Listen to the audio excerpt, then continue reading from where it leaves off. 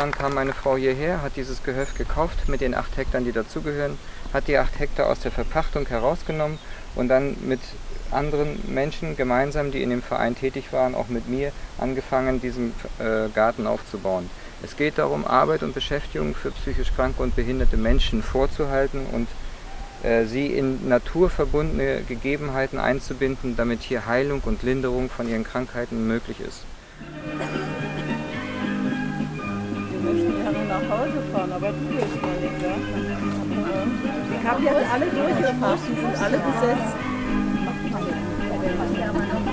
Unsere Selbsthilfegruppe heißt Selbsthilfegruppe für Betroffene und Angehörigen im Bereich Letschin. Die Selbsthilfegruppe hat seelische Erkrankungen. Also die ganze Palette der psychischen Erkrankungen. Es ist nicht nur Schizophrenie, es sind manisch-depressive, es sind bipolare Störungen. Eine Palette von vielen Erkrankungen oder von, ich möchte es mal so bezeichnen, von psychischen Belastungen der Gegenwart.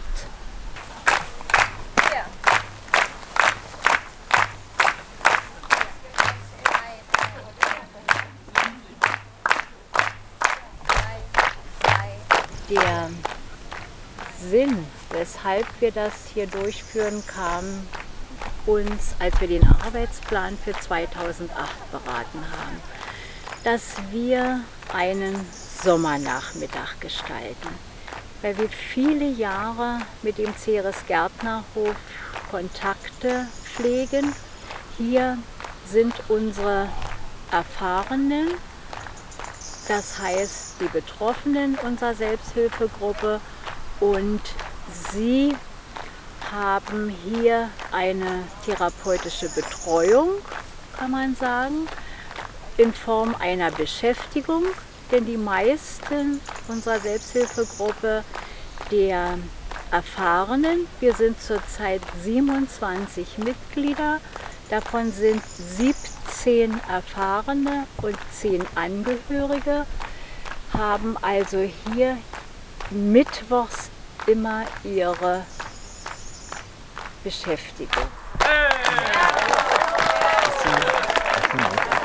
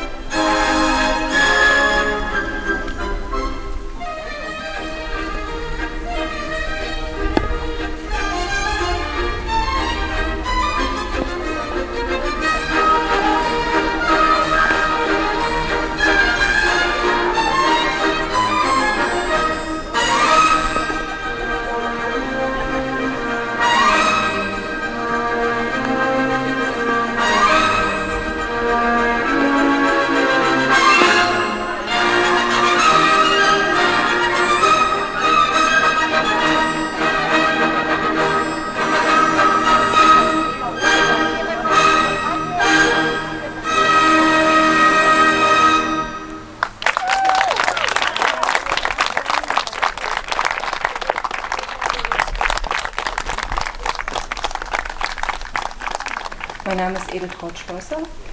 Ich bin Dezernatsleiterin im Landessozialamt oder im Landesamt Soziales und Versorgung und äh, zuständig für Förderprogramme des Landes Brandenburg aus verschiedenen Politikfeldern, Gesundheit, Soziales, Frauen und Familie.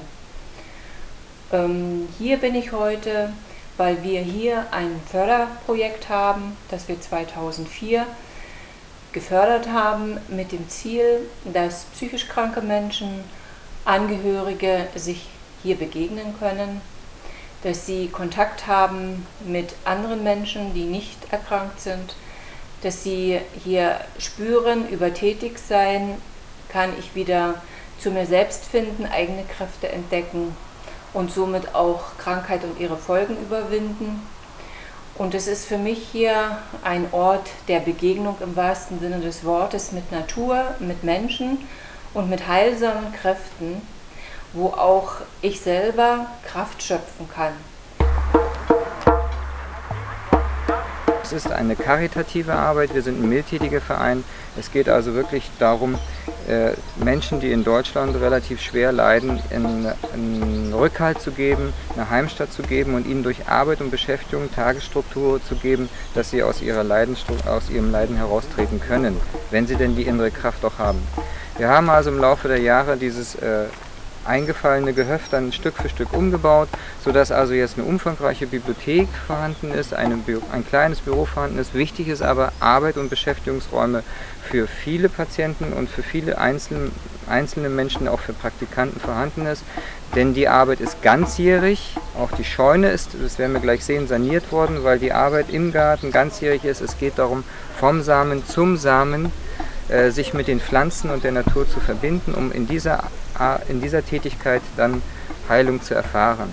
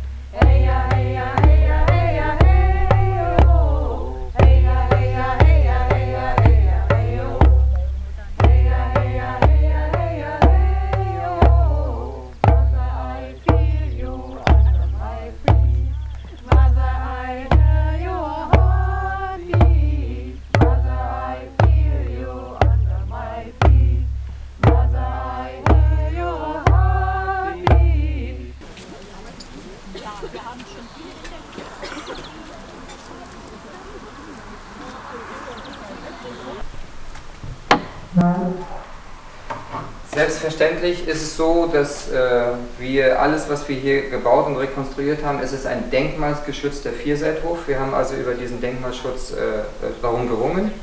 Und, äh, und, selbstverständlich ist es so, dass wir hier nur nach biologischen Prinzipien äh, gearbeitet haben. Das ist also alles äh, biologische Baumaterialien, sodass also der alte Charakter der Gebäude erhalten bleibt, der denkmalsgeschützte Charakter, aber eben auch das Prinzip des biologischen Anbaus der Nahrungsmittel sich natürlich in der biologischen Verwendung der Baustoffe fortsetzt. Also der Lehmofen ist nach unseren Entwürfen gebaut, weil wir die Vorstellung hatten, dass er multifunktionell sein soll und wir haben dann auch jemanden gefunden, der also unseren Vorstellungen entsprechend das bauen konnte. Das ist also ganz normal die Schamotte drin, aber dann ist er mit Lehm verkleidet. Wir können mit zwei Zügen kurz oder lang sogar die Ofenbank, auf der man sitzt, beheizen. Es ist ein Holzfeuerungsgrundofen, das heißt also, dass er wie ein Lagerfeuer kein Rost hat, sondern die, die Glut dann äh, in diesem äh, Feuer Bereich da die Glut vor sich hin äh, bloßt, wenn man so sagen will, und nicht durchfällt. Und hier ist dann auch der Einschub für die Brotbleche. Wir haben sogar schon Stollen in diesem Ofen dann auch gebacken, was natürlich eine sehr schöne weihnachtliche Gegebenheit dann auch ist für alle dann. Ne? und wie gesagt die Einschübe extra von uns konzipiert, damit wir die Kräuter trocknen können. Wichtig ist auch, alles Holz, was ist Holzfeuerungsgrundofen, es wird nur Holz verwendet, alles Holz, was hier zum Feuern verwendet wird, wird von den Patienten und den Beschäftigten selber herbeigeholt, selber gehackt, auf Mieten gestapelt und dann hereingebracht. Das ist auch Bestandteil unserer Arbeit, unseres Konzeptes Arbeit und Beschäftigung im Lauf der Jahreszeiten und bei den Grundbedürfnissen, die, den echten Grundbedürfnissen, die der Mensch hat, sodass ich also mein Holz hacke, wenn der Ofen warm ist, dass ich also meine Teekräuter sammle, wenn ich Tee trinken will, dass ich also das Gemüse, was ich angebaut habe, zu meiner Suppe mache. Und so ist das gedacht und so kann der Mensch unseres Erachtens nach dem Konzept des hier aus Gärtnerhof dann wieder zu sich finden und auch gesünder und Heilung erfahren.